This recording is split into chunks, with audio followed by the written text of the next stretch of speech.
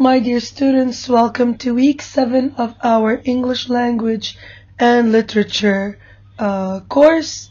Um, this week is going to extend from 15th of October till the 19th of October.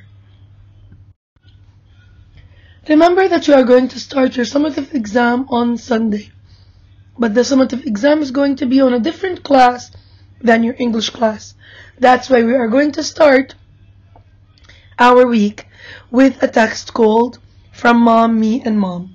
We're going to read for concept vocabulary and we are going to read for annotation. Our word wall is going to be supervision, charitable, philanthropist, and annotation. We're going to have a video about that vocabulary and we are going to implement and apply on um, interactive activity 1. We're going to watch a video again about this story and we are going to have another activity about our story. You're going to watch a video about Pullman rail journeys and we are going to consider whether the video gives us actual portrayal of Maya's 1941 trip from Arkansas to California described in paragraphs um, 1 to 4. As for Monday, we are going to complete uh, working on from mom, me, and mom text. On this day, we're going to read for character analysis and we are going to read for author's attitude. Uh, for the character analysis, we are going to differentiate between direct and indirect uh, character, uh, characterization within uh, texts. Our word wall will consist of character, analyze, author's attitude, infer, direct characterization, and indirect characterization. We're going to dig deep into author's attitude and bias, and we are going to implement on uh, by using interactive activity 2.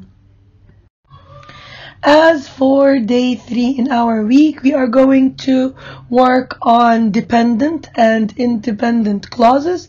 We're going to implement all the um, knowledge that we took from kinds of sentences, from uh, simple, compound, and complex sentences, and we are going to find dependent and independent clauses within these sentences. For this day, you're going to recognize independent and dependent clauses, and you will use dependent and independent clauses in your writing.